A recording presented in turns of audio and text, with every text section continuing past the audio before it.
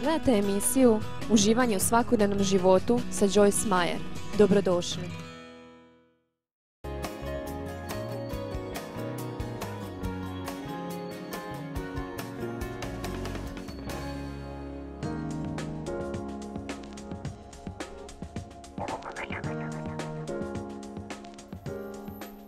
Prva Petrova 5, 8.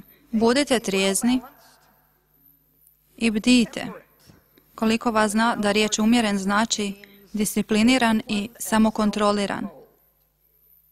Recite disciplina. Sad to recite kao da ste sretni zbog toga. Recite disciplina.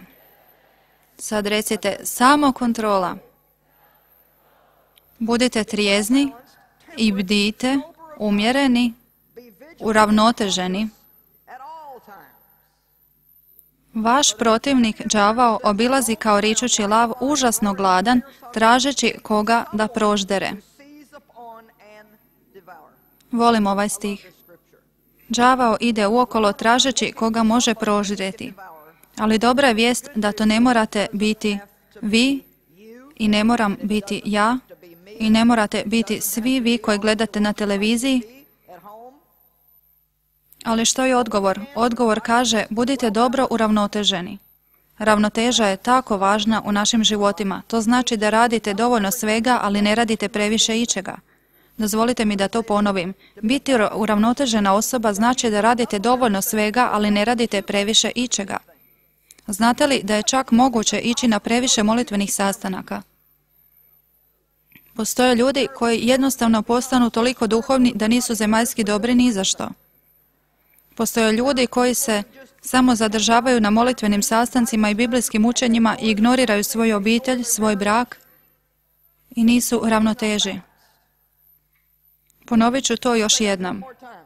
Ravnoteža znači da radite dovoljno svega, ali ne radite previše ičega. Pa znate da je tjelesni dio naše prirode jako neumjeren. Pretjeramo ovome, a onda to odlučimo popraviti, pa u tome pretjeramo. Ili ćemo sve učiniti, ili nećemo ništa učiniti. Neki od vas, čak se i vaša osobnost, može ponekad prikloniti tome više.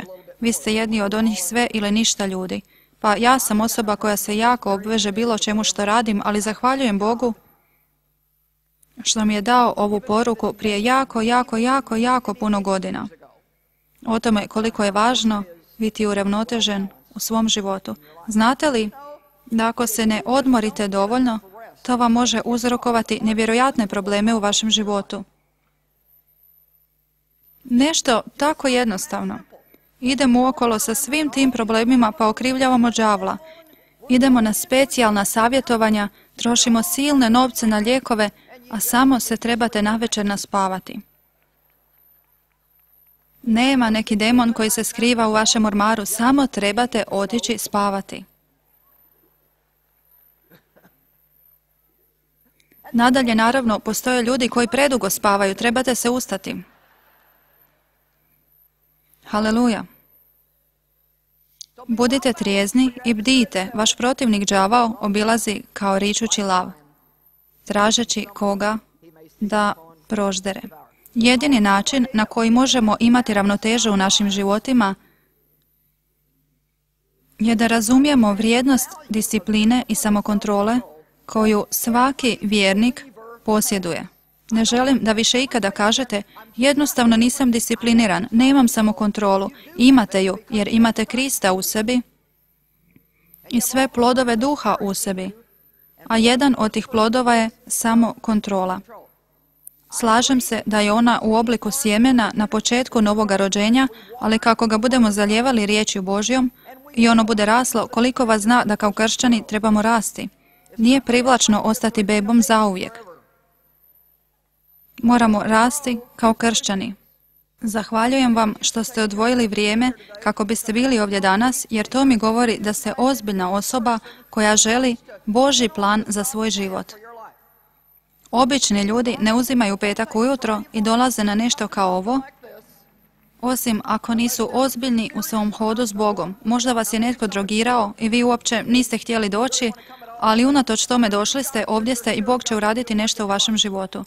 A svi vi koji ste upalili TV emisiju ovoga jutra te i dalje gledate nakon prvih nekoliko minuta, i neće vam pomoći prebacivanje na druge kanale jer sam na druga tri ili četiri kanala. Tako, teško je pobjeći od mene u ranim jutarnjim satima. Bog želi promijeniti vaš život i On će to učiniti kroz riječ Božju. Dakle, disciplina i samokontrola jako su važne. Iz nekog razloga svi to mrze. Oho, disciplina. O, moj Bože, nisam došao ovamo kako bih slušao kako uči o disciplini i samokontroli. Imam probleme u svom životu.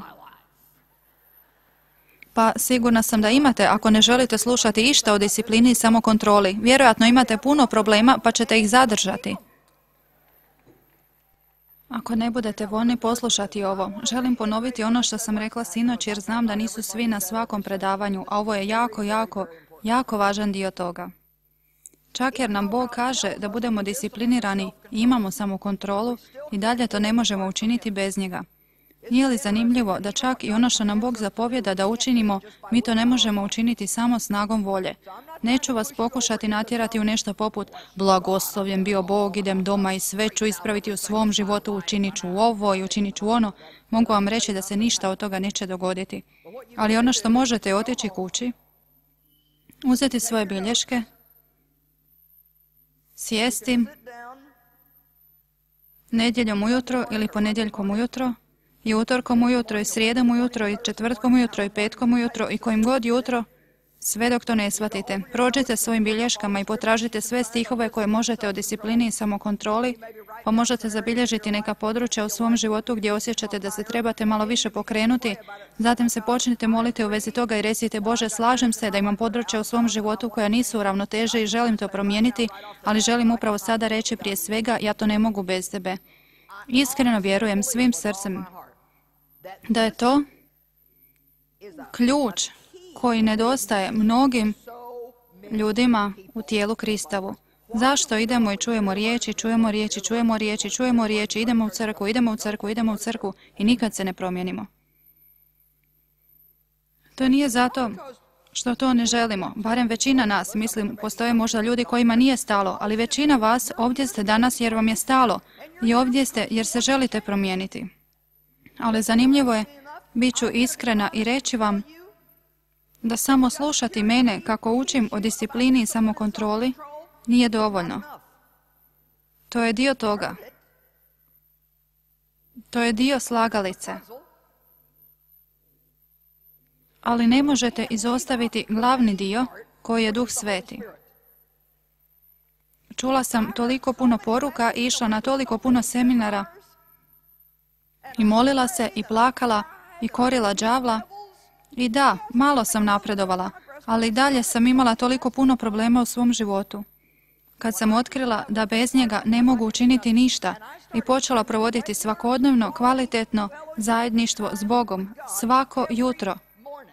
Drago mi je da ste ovdje, ali bih više voljela da provedete privatno vrijeme s Bogom. Ako biste morali birati između toga da ste ovdje i privatno provedenog vremena s Bogom, vi i on nas samo radije bih da to učinite nego da ste ovdje. Nemojte da moja TV emisija bude vaše vrijeme s Bogom. Ne želim izgubiti gledatelje, ali kažem vam da vam je potrebno učenje. Ali onda trebate otići k Bogu. Vaši učitelji, vaši pastori, oni nisu Bog. Prestanite imati polovičnu vjeru, nabavite si vlastitu vjeru, nabavite si osobni odnos s Bogom. Pa moj pastor kaže, moja mama kaže, pa Joyce kaže, drago mi je da znate što ja kažem, ali djeluje li to u vašem životu? Dakle, osjećam kako trebamo sakupiti sve dijelove slagalice. Idemo u crkvu, to je dio. Čujemo propovjed, to je dio. Idemo na konferenciju Joyce Meyer, to je dio. Gledamo dobar kršćanski TV program, to je dio. Čitamo naše Bibliju, to je dio. Ali sada morate otići k Bogu i reći, Bože, imam sve ove dijelove. Jedino ti to možeš učiniti. Naučite čekati na Boga. Naučite kako samo doći u njegovu prisutnost i ostati tamo čak i ako trebate započeti s 30 sekundi. Držite jezik za zubima i recite u svom srcu, ovdje sam kao propala osoba. Ništa nemam, osim tebe, ali ti si više nego dovoljan. Tražim te da sve ovo spojiš u mom životu. Osnaži me Bože. Ako ste u braku s nekim tko je prava noćna mora za vas, ali znate da Bog želi da ostanete, jer vi vjerujete, dozvolite mi da vam nešto kažem. Bog ne želi samo da svi odu od svih s kojima se teško složiti. Bog je ostao s vama i On bi možda volio da i vi ostanete s nekim. Hvala. Ne bismo imali ovaj seminar danas da moj muž nije ostao sa mnom. Ne morate pobjeći od svega što je teško u životu. To je dio discipliniranog života. Ponekad morate ostati i negdje gdje ne želite biti, čak i kad vam nije ugodno. A onda s druge strane, ponekad trebate otići od nekih ljudi, jer imate prijatelje i čak ponekad članove obitelji koji vam daju truju duh.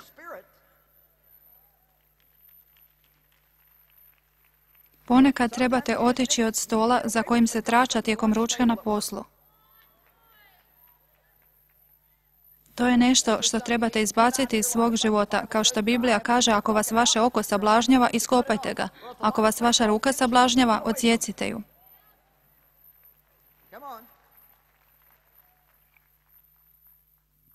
Želim to razjasniti. Možda ću to morati učiniti na svakom predavanju, ali nije me briga. Znam da vam neću pomoći ako odete odavde razmišljajući Slava Bogu, sada znam što je moj problem. Postaću disciplinirana osoba. Uvešću 25 pravila u ovu obitelj. Ovo ćemo raditi u 8, ovo u 9, ovo u 10. Pa to će potrajati dva dana. Jer vidite, tijelo se brzo zapali i ugasi. Nedavno sam uzela jednu od onih prskalica koju koristite 4. srpnja na jednom sastanku i rekla, to je tijelo.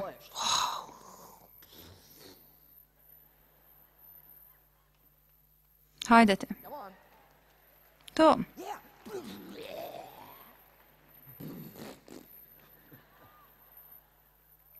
To je moja ljudska verzija prskalice. Jakov 4.17 kaže, tko dakle može dobro činiti, a ne čini, počinja grijeh. Mogu li reći da smo obrazovani iznad naše razine poslušnosti? Neki su od vas sjedili u tolikim crkvenim klupama da su vam stražnice spljoštene. Udebljali ste se od sjedenja u crkvi.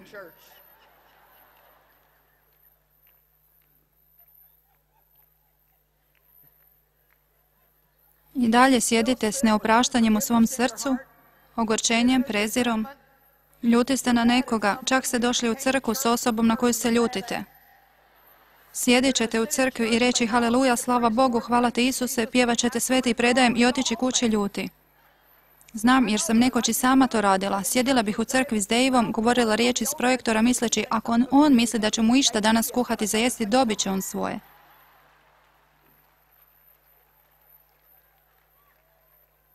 Samo zato što kažete amen ne znači da ste to shvatili. Ponekad oni koji najviše pričaju najmanje znaju.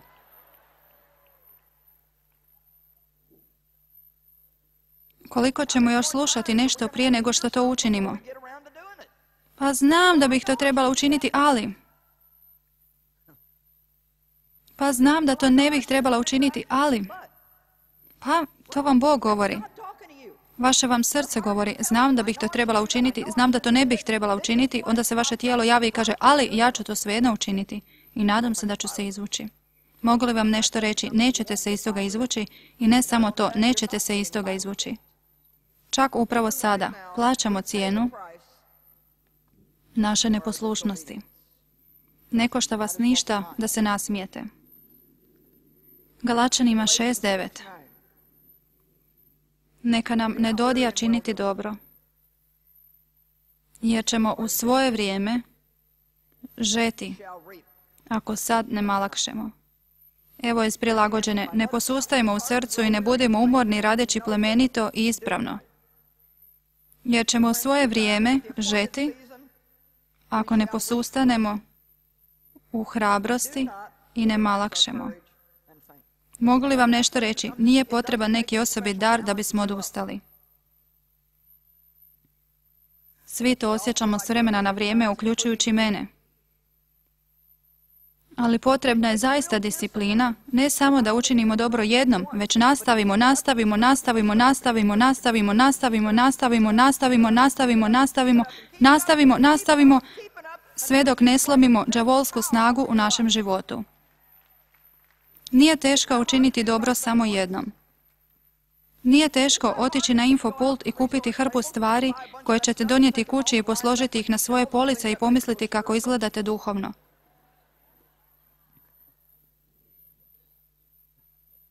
Ali, kako biste to slušali ili gledali, morat ćete se disciplinirati na neko vrijeme. Morat ćete odvojiti dio svoga dana ili dio svoga tjedna za proučavanje. Proučavajte kako biste bili priznati, radnik koji se ne treba stidjeti. Jedini je razlog zašto ljudi ne provode vrijeme s Bogom jer se nisu disciplinirali da to rade. Nema drugog razloga. Želim vas ohrabriti danas da prestanete tražiti izlike za bilo što. Ako nećete vježbati, nemojte reći ne mogu, samo recite istinu i recite ne želim.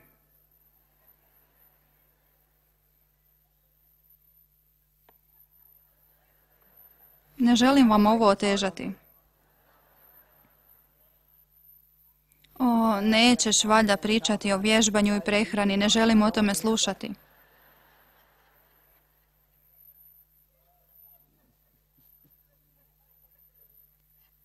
Jednostavno si ne mogu pomoći. Ako vidim jedan čokoladni keks, moram ih pojesti 12. Ne, ne morate.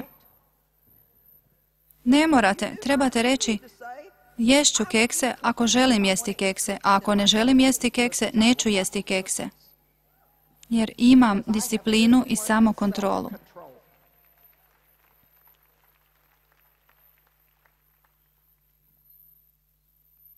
Nastavite raditi što je ispravno. Nastavite raditi što je ispravno.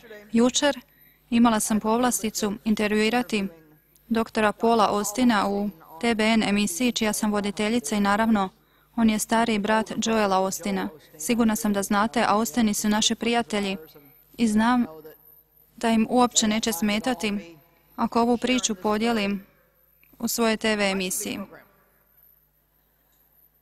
Ali doktor Paul je kirurg i bio je zaista uspješan kirurg dugi, dugi niz godina.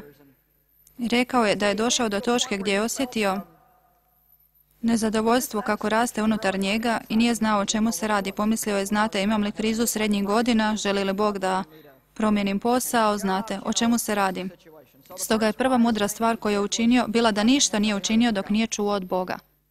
Rekla sam da ništa nije učinio dok nije čuo od Boga.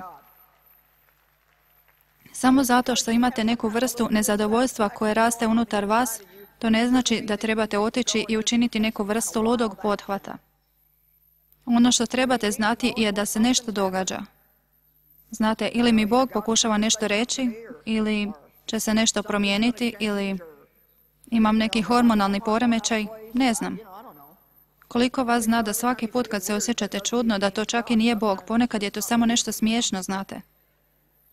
Možda ste pojeli previše šećera prošli tjedan, ne znam. Ali on je čekao na Boga i to pa trajalo neko vrijeme. Onda mu je otac umro. Vozili su se sa sprovoda, te rekao, čuo sam da je Bog rekao tri stvari. Stavi svoju praksu sa strane, odseli se u Houston i pomozi. Ovaj je čovjek bio kirurg, a Bog mu je govorio, želim da ostaviš sve i želim da odeš pomoći. U to vrijeme nisu čak ni znali tko će biti pastor u crkvi. Joel još uvijek nije bio postavljen na to mjesto. Postojalo ih je nekoliko koji bi bili sposobni za to, pa su htjeli biti sigurni da su čuli od Boga. Ako smijem nakratko napraviti digresiju, kad je Paul bio otprilike 12 godina, njegov ga je otac odveo na misijsko putovanje. Rekao je, kada je stajao na afričkom tlu, da je već tada znao u tim godinama da želi biti liječnik, a kada je stajao na afričkom tlu, došla mu je jedna snažna misao. Želim se jednoga dana vratiti ovamo i raditi kao misijski liječnik. Ali kako je odrastao i krenuo u školu, započeo je svoju praksu negdje drugdje i sada znate Bog ga traži da sve to napusti. Stoga zaboravio je sve o liječničkoj misiji te je otišao raditi tamo u crkvi kao pomoćnik i rekao je da je zarađivao 18% od onoga što je zarađivao kao kirurg. Sad želim vam nešto reći. Ne postoji puno ljudi u cijelome svijetu koji bi bili voljni staviti se u poziciju gdje imaju manje kako bi mogli služiti Bogu. Hajdete sad. Nema puno ljudi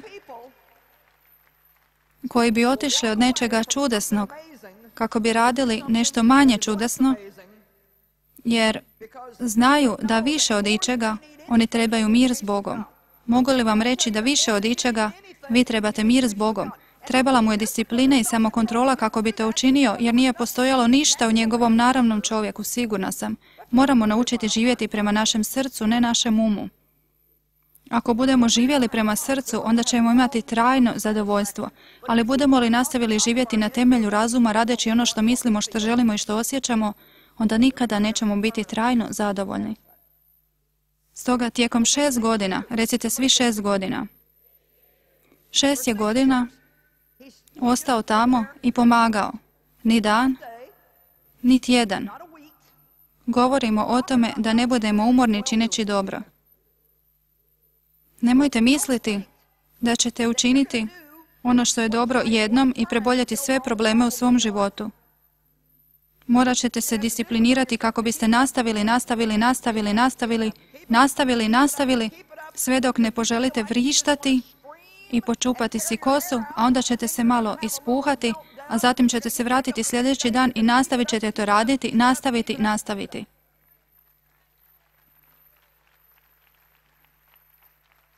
U redu je ako se povremeno ispušete. Bog razumije. O, poslušajte, ja sam prestala i odustala puno puta. To je to, Bože, jednostavno. Odustajem. Gotovo, odustajem. Kao da će to zadiviti Boga. Iskreno vam govorim istinu. Jednom prilikom sam to rekla, a Duh Sveti mi je rekao, stvarno? Pomislila sam, čekaj malo, zvučiš previše ushićeno. A onda se ova misao pojavila u meni. Drago mi je što ćeš nakratko odustati jer je to jedino vrijeme kad mogu raditi. Jer sam se nalazila u svakovrsnim dijelima tijela pokušavajući učiniti svašta što nije bio Bog. Kad se disciplinirate da radite ono što Bog želi da radite, pa šest je godina ostao na toj poziciji, a onda ga je netko pozvao da ide u London na nešto, a onda ga je netko drugi pozvao da ide u Afriku na nešto. On nije imao naviku da putuje, doktor Paul nije, ali pomislio je da, osjećam da Bog želi da to učinim. Ukratko završio je u Africi kao asistent u nekim operacijama, a sada se nalazi na točki gdje provodi šest mjeseci svake godine radeći u liječničkoj misiji u Africi. Dakle, Bog mu je progovorio kad je bio 12. Hajdete, želim da ovo nekome danas pomogne. Bog mu je progovorio kad je bio 12. Obrazovao se, postao je kirurgom, vrlo uspješnim. Radio je to godinama. Ono što se svijetu činilo kao unazađivanje, zapravo je u Božoj ekonomiji značilo promaknuće. Hajdete, pratite li me? Osjećao je kao da je bio unazađen, te je morao tamo provesti šest godina. Ne dan, tjedan, mjesec, već šest dugih godina, šest puta 365 dana. Onda, odjednom, proboj. Vidite, neke od vas očekuje ubrzo proboj samo ako ne budete odustali ali sada se još uvijek nalazite u neprijatnoj fazi discipline. Još uvijek se nalazite na mjestu gdje si mislite, moj Bože, koliko ću još dugo ovo morati raditi. Kada, Bože, kada? Zašto, Bože, zašto? O, moj Bože, rekla sam Devu prije puno godina. Hoćemo li ikada doći do točke ovoj službi gdje se više neće događati nešto što nas sve vrijeme ogorčuje? A Dave, na svoj predivan način, pogledao me i rekao mi, nikada.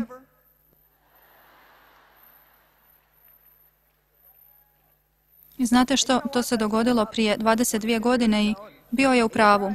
To još uvijek nije prestalo. Ali morate imati stav. Kad sve završi, ja ću i dalje biti ovdje i klicati. Jer jednu stvar neću učiniti, a to je odustati. Ja ću nastaviti, nastaviti, nastaviti, nastaviti, nastaviti, nastaviti, nastaviti, nastaviti.